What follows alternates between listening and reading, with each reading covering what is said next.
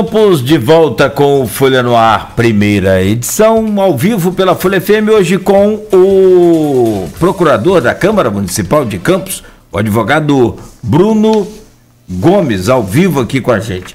É, inclusive com oferecimentos laboratórios Plínio Bacelar e Proteus Serviços de Saúde e Medicina Ocupacional com a qualidade certificada ISO 9001-2015. Voltamos neste bloco agora e Arnaldo já deixava uma conexão, né, Arnaldo? Se puder refazê-la, é legal porque já quem está chegando agora aí, tanto no streaming ou na rádio, passa a entender melhor. Por favor. Não, eu nem cheguei a fazer a pergunta, né? só falei sobre o tema. É, Bruno, é, é, de, um, de, uma, de um semestre para outro ficaram algumas, algumas interações, é, ficaram algumas algumas propostas para serem discutidas. Entre elas, uma do vereador Nildo Cardoso, né, que fala aí sobre redução de cadeiras na casa. Em que pé anda esse processo? É claro que não é você a prerrogativa de colocar no plenário é do presidente, isso é ponto pacífico, é, mas esse projeto tem algum parecer, tem algum andamento já? Porque teve um apoio popular muito forte. E na Câmara, pelo que eu consegui apurar de bastidor, embora muita gente assinou com o Nil do projeto, nem todo mundo que assinou iria votar a favor do projeto. Em que pé, dentro da estrutura administrativa, esse projeto está pronto para ser votado, se fosse o caso do presidente quiser, se o presidente quisesse pautar agora? Então, Arnaldo, o que eu posso te dizer é até o momento que ele passou pela Procuradoria, né? Ele já passou pela Procuradoria, mas nesse caso, a Procuradoria, ela, ela ela atua simplesmente na questão da adequação regimental, né? Saber se o, se o projeto ele está foi assinado tem a quantidade de assinatura mínima que tinha que ter e demais aspectos, se não me engano, do artigo 202 do nosso regimento. Já passou pela Procuradoria com parecer favorável pela tramitação, né? E acredito eu que deva ter sido encaminhado para as comissões lá pertinentes e agora deve estar aguardando para pautar. Acredito que seja assim. Aí eu tive conversando com alguns com alguns juristas também que atuam na área, que já foram procuradores de câmaras, enfim. É, particularmente, apesar do, do, do, do apelo popular e ter grande apoio popular, é, eu vejo como muito cedo um projeto desse, porque no meu entendimento, pode lá na frente mudar essa conjuntura. É, é, isso pode ser alterado até 2023, não é isso, Bruno? Sim pode lá na frente, por exemplo, aprovar agora essa proposta de Nildo e lá em 2023 um outro vereador colocar voltando para os 25 e alterar novamente? Pode. Pode. É porque quando a gente fala até 2023, só para explicar aos ouvintes, que uma alteração dessa magnitude, é, ela só passa a vigorar na próxima legislatura, né? Então, eh, se alterar agora, ela pode ser alterada ano que vem, alterada novamente, mas só vai passar a valer mesmo a partir da, da próxima 2024, né? É, na eleição do, e para valer para a eleição de 2024 tem que ser aprovado até outubro de 2023, um ano antes, né? até o início de outubro. Olha, é, essa informação, eu, eu creio o seguinte, o que deve estar sendo entendido aí é a questão de é só questão de aplicar ou não para a próxima eleição. Então, assim, é, em tese, tem que ser votado um, até um ano antes da eleição, tá certo? Outubro, tá certo. Outubro de 2023, tá certo. A Câmara de, de, Você fez uma pergunta interessante. Eu acho que tem um exemplo aí na sua terra. A Câmara de São João da Barra teve quantos vereadores na, no, no, no mandato de, de Betinho da Waire, por exemplo? Lá para o início acho dos. Foi 15. Não foi? Em 97 eram 15. Uhum. Mas eram 15 porque ainda era a Câmara remanescente do município maior. De São Francisco. Ah, perfeito, perfeito. Então quer dizer, ela baixou e agora aumenta novamente, mas por conta da, da população. Um dos... Exato, é porque, é, o, é, e também, Bruno, para a gente esclarecer, o número mínimo ele é previsto em lei federal e o máximo pela população também. Agora, quantos vão ser, aí cabe, é prerrogativo do legislativo, não é isso? Sim, Campos, se eu não me engano, é hoje 21 e 25, se eu não me engano. Ah, ah, tem, tem essa prerrogativa de mínimo?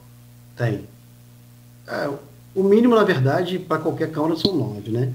mas pela quantidade de habitantes, a estimativa do cálculo que foi feito para Campos, se eu não me engano, mínimo 21 e máximo 25. É, máximo de 25 eu tenho certeza. Agora, esse mínimo é, é, é uma, é uma novidade para mim.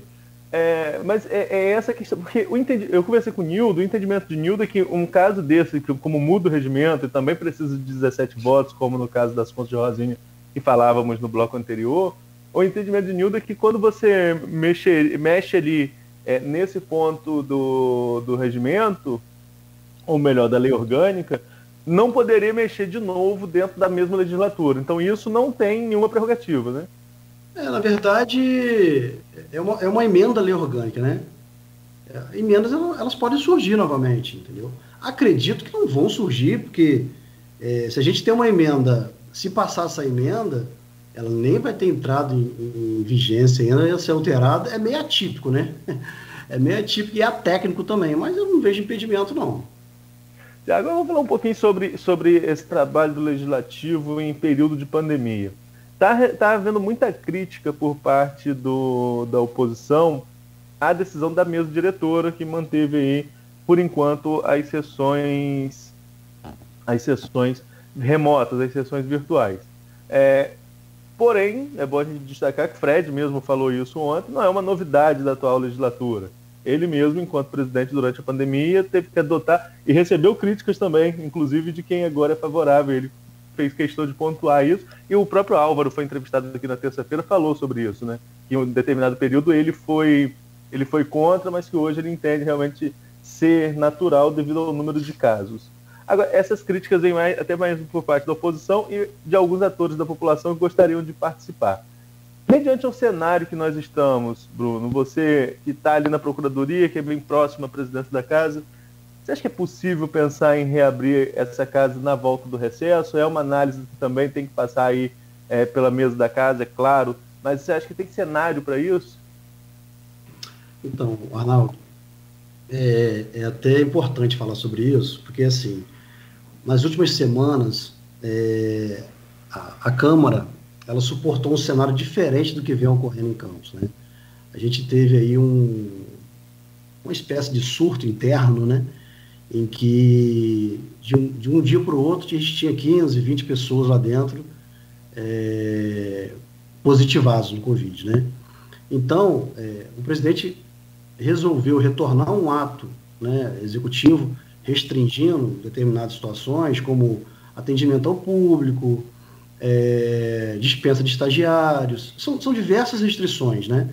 E também, por conta disso, e também por é, dois setores da casa, né, que foi a Secretaria Legislativa, que é um setor importantíssimo no processo legislativo, e também a própria diretoria de plenário, elas ficaram fechadas, porque todas as pessoas dessas desses dois setores estavam positivadas do Covid.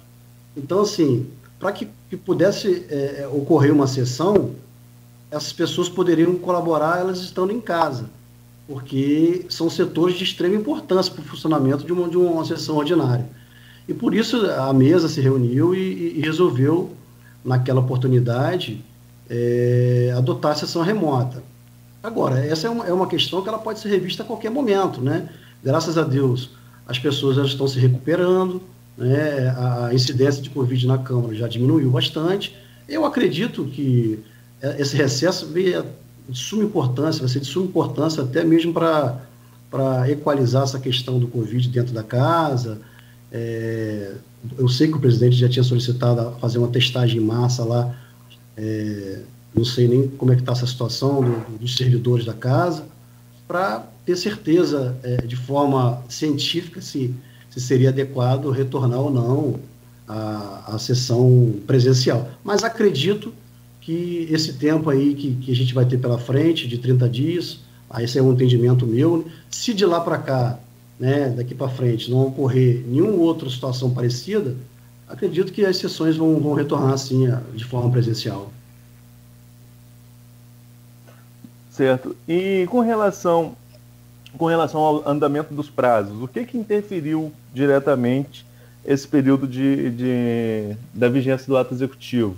Por exemplo, as contas da Rosinha, houve suspensão no prazo ali para apresentação de defesa. É, mas isso não impede, por exemplo, que a comissão dê parecer a outros tipos de projeto. Como, o que, que delimita isso é, na prática? Na verdade, Arnaldo, é, a gente está se apegando muito a esse último ato.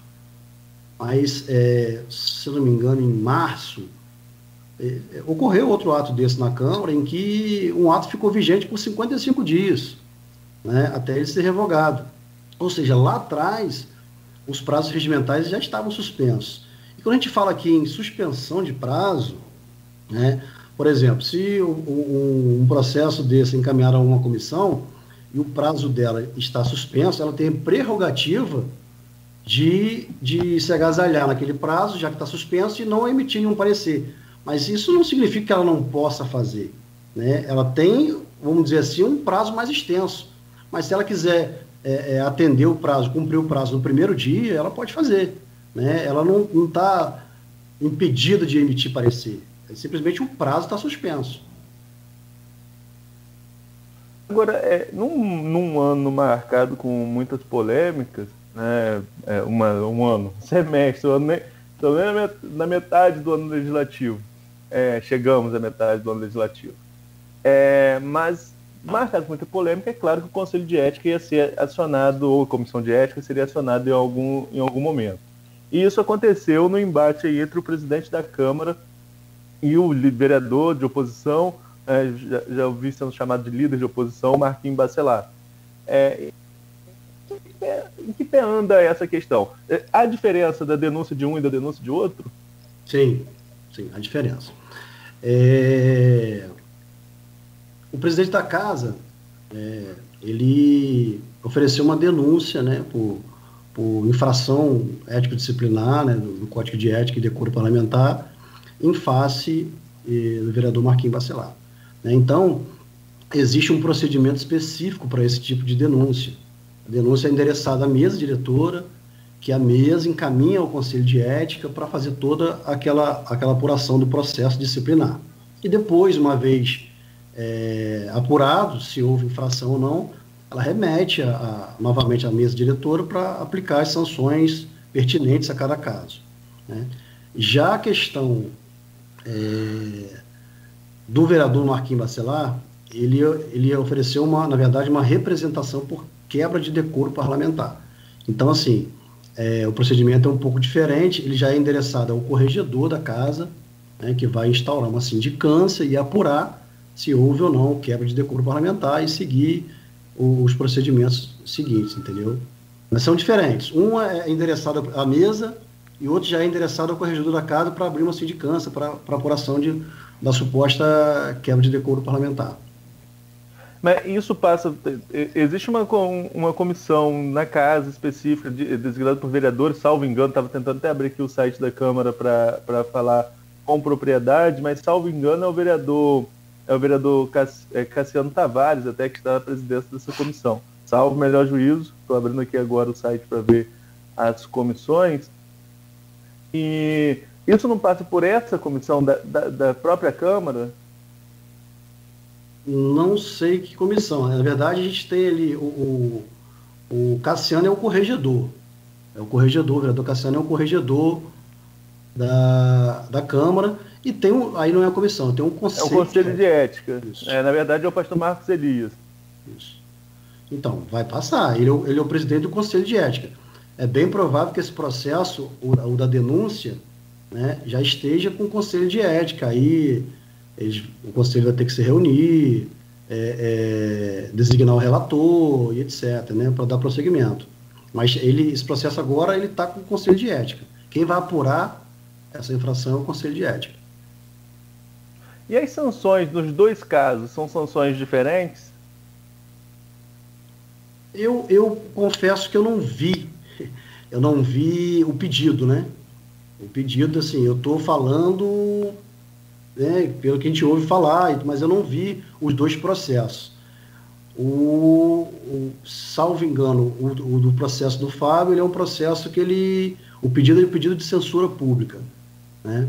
Já o do Marquinhos Bacelar, eu confesso que eu não, não sei qual foi o pedido, né? É, mas normalmente por quebra de decoro parlamentar é um pedido de, de perda de, de mandato, né? É, mas eu não vi, não cheguei a ver. Mas aí, aí isso seria, né, como você disse lá atrás, seria uma, uma questão interna? A própria Câmara poderia decidir isso? Sim, sim, a Câmara, tem, inclusive, está disciplinado no, no Código de Ética e Decoro Parlamentar e no regimento também. Tem os procedimentos, todos, é, de cada processo desse, né? A passar pelo. Vai ter, vai ter ampla defesa, contraditório, e é um processo que vai durar um tempinho aí. Acredito eu, salvo engano, acho que o, o, regimento disciplina que tem que. O da denúncia, por exemplo, tem que ser finalizado em 60 dias. Mas agora, com essa suspensão aí, de repente, é, o Conselho de Ética, no meu entendimento, ele não fica suspenso, né? Porque o Conselho de Ética e a Corregedoria da Casa ela tem que estar atuante sempre, né? Tem que estar atuando sempre. Mas é, agora, durante esse recesso, talvez ele seja um pouquinho mais complicado. Existe, existe uma prerrogativa que é muito complexa, no meu ponto de vista, que é a questão da, da imunidade parlamentar, do que o vereador fala e, e onde ele fala. É, nesse caso, pode ser alegado esse sentido, porque no, no caso do, do, do Fábio, né, é por conta de um vídeo né, em que o Marquinhos Bacelar usou alguns termos ali que eu, não agradou o presidente, que seria é, visto como uma calúnia, inclusive, aí eu abordei isso no, no meu blog, o Fábio estaria é, especulando uma ação civil pública em outra, né, de, de, de outra esfera. E no caso do Marquinho, o Marquinho faz denúncias quanto à condução de Fábio enquanto presidente. Então são, são questões diferentes. Né? É, dá para se alegar, no caso do, do, do Marquinho, você como jurista, dá para alegar alguma coisa de imunidade parlamentar ou a imunidade é só no plenário? Então, é, esse é um tema muito complexo, a questão da imunidade, porque as pessoas entendem que a imunidade ela é absoluta. A imunidade parlamentar não é absoluta. Né? A imunidade ela é relativa. Né? A partir do momento em que, não estou dizendo que foi o caso em si, né? não estou entrando no mérito de, de, de caso nenhum, mas é, a deixa de ter imunidade quando ele passa, por exemplo, a uma ofensa moral. Né? Ofensa moral, entre outros né, crimes ali, ele, ele, ele foge o alcance da imunidade. Né? É, nesses dois casos, é, eu acredito que as duas partes vão alegar a imunidade parlamentar, né? Mas aí vai caber a, a, ao corregedor da casa, através de sindicância e ao Conselho de Ética, apurar se, se fugiu é, o domínio ali da questão da imunidade parlamentar ou não. É, acho que tem um exemplo, um exemplo clássico em que a gente pode falar aqui, que é a questão do Daniel Silveira, por exemplo, né, que o discurso dele em rede social e mesmo assim o Supremo entendeu que poderia prendê-lo. Né? É. é um caso, é um caso, nesse caso, no meu modo de ver, é um caso até atípico, né? Mas é, ele entendeu naquele momento que independente é, de onde ele estivesse, se estivesse dentro do, do Congresso ou não, né, ele estava ele tava ali fugindo à questão da imunidade dele parlamentar, por questão Nesse das ofensas ca... que ele fez. Né? Nesse caso aí, a gente já entrando um pouquinho no âmbito nacional, que a gente vai falar no bloco seguinte, né, é, seria aquela questão que uh, ouvi outros especialistas em direito aqui, a questão do mandato, em prisão, mandato de prisão em flagrante, né, essa seria a grande discussão. Aí não tem nada a ver com a discussão que nós estamos falando, falávamos anteriormente da Câmara, só para deixar claro. Né? Sim, ele, se eu não me engano, o ministro entendeu que, é, por ser uma publicação em rede social, e que estava sendo transmitida a todo momento, aquilo ali é, ainda estava em flagrante e a prisão foi, foi baseada nisso aí, na prisão em flagrante, por ele entender que. Aí foi um entendimento até novo, né? É, a gente, aí acredito que a gente entra até na esfera da questão do ativismo judicial, né, da, da interpretação, e ele entendeu que era um flagrante, porque estava sendo fomentado a, né, em tempo real na rede social, vamos dizer assim. Nogueira.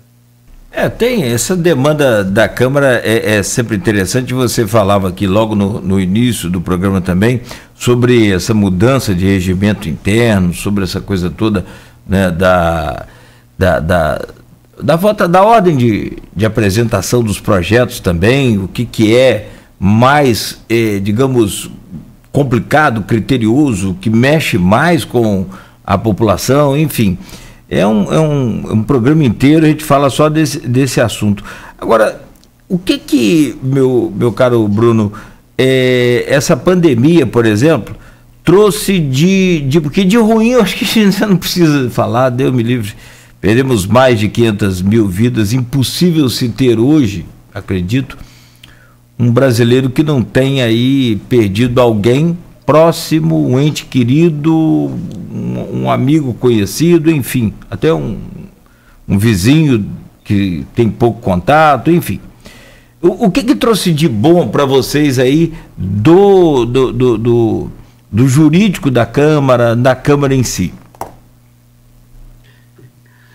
É, se é que trouxe, eu não sei se. Você pode falar, Nogueira, não trouxe nada. Você fica à vontade.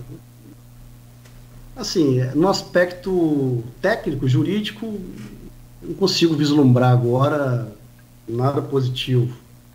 Se no aspecto pessoal, eu particularmente posso dizer que eu perdi alguns amigos, né, inclusive na oportunidade que o nosso amigo deputado Gilviana ele faleceu, eu era assessor dele na LERJ na época, né, então assim, estava bem próximo a ele, ajudando ali no trabalho.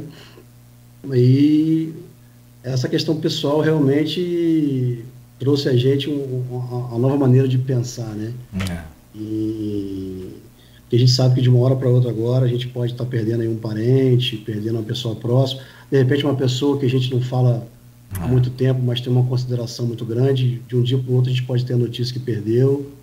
A gente fez realmente pensar de forma pessoal diferente. Eu mudei muito é, nesse período Confesso que ainda, é, por conta do trabalho é, que tem tomado boa parte do meu tempo, tenho deixado a desejar um pouco com a minha família e com, com os meus amigos, mas acho que eles estão entendendo que realmente a demanda tem sido muito grande. É, é isso. No pessoal, com certeza, e, e, o pessoal ele influencia no profissional, não tem jeito. Não, e, e, Agora, tem... e o Arnaldo, desculpa, Arnaldo, é, só ia colocar o que você coloca sempre aqui. Os bastidores não dá para ter sem bastidor. É, é, é, real. Não, não tem como ter bastidor virtual nesse caso. É verdade. Aí. É o que a, sempre Arnaldo ressalta isso.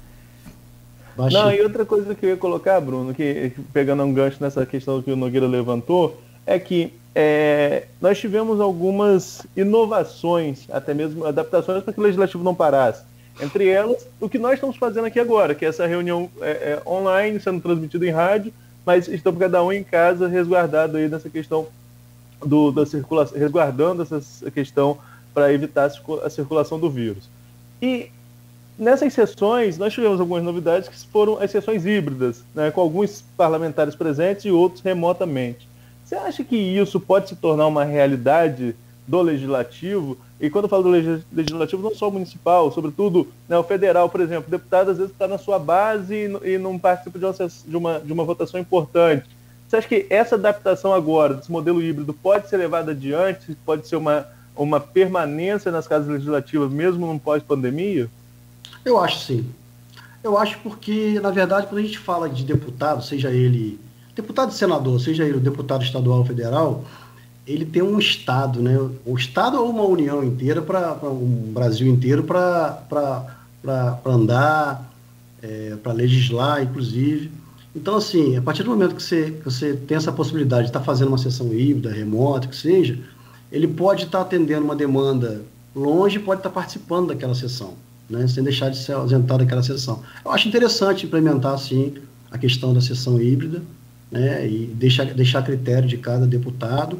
Em questão municipal, eu já acho um pouco mais complexo, mas a nível estadual e federal, eu já acho interessante, sim, é, que você possibilita a, a deixar a critério do deputado, do senador, participar é, como ele achar melhor naquele momento. Né? Que ele pode estar em, em alguma missão, né, em alguma uma situação em que e, e, não queira deixar de participar de uma votação importante. Né?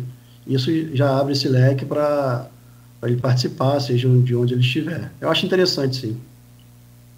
Ok, Nogueira. Perfeito. 8 horas, 8 horas 31 minutos. A gente faz uma pausa rápida aqui com essa boa conversa com o Bruno Gomes, que é advogado e procurador da Câmara de Campos.